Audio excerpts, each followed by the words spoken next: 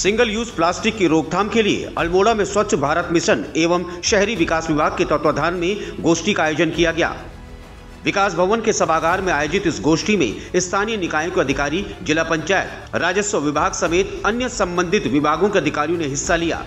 गोष्ठी में न्यायालयों, एनजीटी द्वारा दिए गए आदेशों और प्लास्टिक वेस्ट मैनेजमेंट एक्ट के प्रावधानों के बारे में विस्तार से जानकारी दी गई। ठोस अपशिष्ट प्रबंधन, प्लास्टिक अपशिष्ट प्रबंधन या सिंगल यूज़ प्लास्टिक की रोकथाम हो इसको लेके जो इसके इसके पीछे जो नियम बने हैं, इनको लेके अंतर विभागीय जो समन्वय है, वो बनाने के लिए आज हमारे विकास भवन के सभागार में एक संगोष्ठी का जनपद स्तरीय संगोष्ठी का जो है आयोजन किया जा रहा है,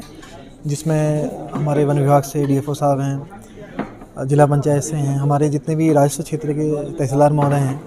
और अन्य जो पालिकाएँ हैं और जो हमारे एन हैं जो इस काम में लगे हुए हैं संयुक्त रूप से संगोष्ठी में जो नियम हैं, नियमों के इम्प्लीमेंटेशन को लेके जो चर्चाएँ हुई हैं ओपन सेशन रखा गया है, जहाँ पर प्रश्नोत्तरी हो रही है, लोगों की अपनी जिज्ञासा का समाधान कर रहे हैं।